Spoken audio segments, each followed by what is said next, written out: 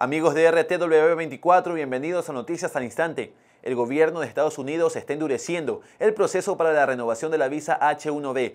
Esta semana la Oficina de Servicios de Ciudadanía e Inmigración instruyó a sus funcionarios para que revisen los requerimientos de renovación de la visa como si fuera la primera vez.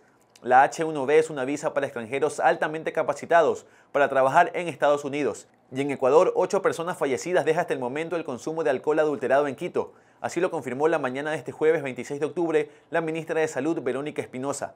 Asimismo, durante la madrugada, un centenar de policías desplegaron un operativo de incautación de licor artesanal. Y en los deportes, la noche de este miércoles, Barcelona de Ecuador cayó derrotado tres tantos por cero ante Gremio de Porto Alegre en la semifinal de ida de la Copa Libertadores. El encuentro de vuelta será en Porto Alegre el miércoles 1 de noviembre. La ampliación de estas y más noticias en rtw24.com.